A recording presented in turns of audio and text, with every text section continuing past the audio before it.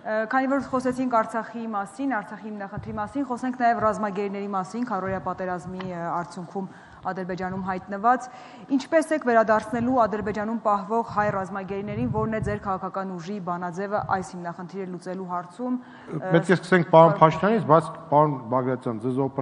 օպերատորները խնդրում են չզբոսնել, որովհետև կադրից դուրս եք ընկնում, հետո հա, ձեր ոդկը ցավում է, լավ։ Խնդրեմ։ Գիտեք, ըստ էության մենք ունենք հստակ իրավիճակ, երբ ողջ միջազգային հանրությունը հստակ դիրքորոշում է արձանագրվել, որ գերեվարված բոլոր անձինք պետքա վերադարձվեն Հայաստանի Հանրապետությանը եւ այս դիրքորոշումը պաշտպանում են ԵԱԿ Մինսկի խմբի համանախագահ համանախագահները եւ մենք Փարք Աստծո հանդրություններից առաջ կարողացանք վերադարձնել մեր 15 գերեվարված եղբայրներին եւ նույն տրամաբանությամբ միջազգային գործընկերների հետ համագործակցությամբ մենք շարունակելու ենք այդ գործընթացը։ Ես ուրախ եմ, որ Ռուսաստանի Դաշնությունը շատ ակտիվ այդ գործով զբաղվում է, զբաղվում են նաև հիմա արդեն ակտիվացել են նաև Ամերիկայի Միացյալ Նահանգների մեր գործընկերները եւ մենք միջազգային process-ները ակտիվացնելու միջոցով վերադարձնելու ենք մեր ռազմագերիներին։ Ես դրանում կասկած չունեմ։ Շնորհակալություն, Արտակ Գալստյան, խնդրեմ պարոն։ Այսինքն այնպես, ինչպես մեր 15 գերեվարված եղբայրներին վերադարձրել։ Խնդրեմ։ Կարծում եմ ներողություն է 1000 ներողություն։ Ես ուզում եմ ընդգծել, որ 80-ից ավելի այս ընթացքում արդեն գերեվարված անձինք վերադարձել են։ Խնդրեմ։ Կարծում եմ գերիները կալանավորված անձիկ այդ ժամանակը չեն ունենում։ Այնտեղ ամեն ինչ անկանխատեսելի է եւ ես եւ քաղաքացիական պայմանագրի ներկայացուցիչը նույնպես դրա մասին գիտենք։ Կարծում եմ գերիների փոխանակման, գերիների ազատման ամենալավ տարբերակը դա գերիների փոխանակումն է։ Պատերազմից հետո Հայաստանի Հանրապետության զինված ուժերի կողմից գերեվարվել են մի քանի տասնյակ ադրբեջանցի զինվորականներ, բայց առանց որևէ փոխանակման հետ են վերադարձվել։ Այս պահին Հայաստանի Հանրապետության տարածքում գտնվում են մեծաթիվ ադրբեջանական զինվորականներ, որոնք խախտել են Հայաստանի Հանրապետության պետական սահմանը պետք է իրագործվի սահմանադրական նորմը պահպանվի, պետությունը իր պոզիտիվ պարտականությունը կատարի, որից հետո կարծում եմ հնարավոր կլինի փոխանակել գերիներին գերիների հետ։ Այսքանը։ Շնորհակալություն։ Պարոն Սարգսյան, համեցեք։ Ուրեմն այդ հարցը երևի թե պետք է դրվեր հետևյալ կերպ. ով էր պարտադրել հայկական կողմին վերադարձնել բոլոր գերիներին, երբ որ այնտեղ կետ կար, որ բոլոր գերիները գերիների հետ պետք է փոխանակվեն։ Այս պայմանը չի կատարվել եւ մենք հիմա ընկել ենք մի այնպիսի իրավիճակի մեջ, որ այդ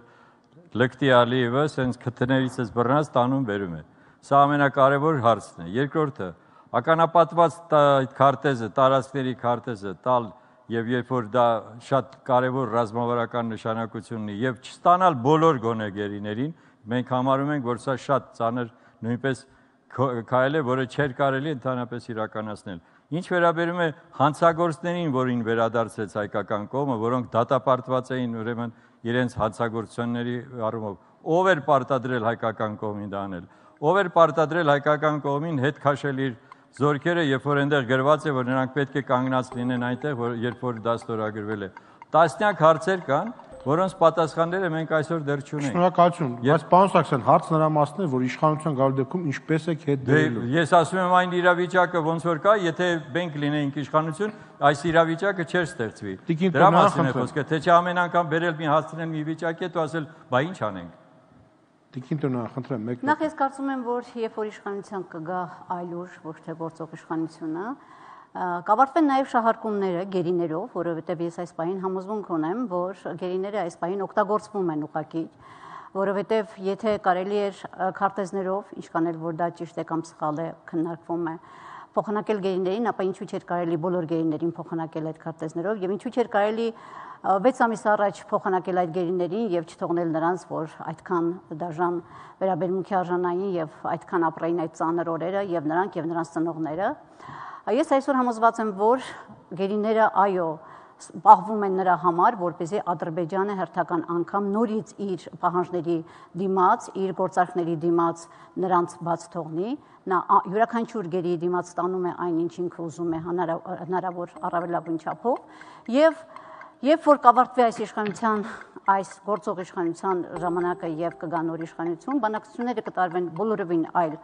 կերպ եւ հնարավոր բոլոր ուժերը կօգտագործվեն։ Ես ուզում եմ հիշեցնել, որ մեր ազգային ժողովում կան բարեկամական խմբեր աշխարհի մոտ 55 երկրների հետ, որոնց ուժը երբեք չի օգտագործվել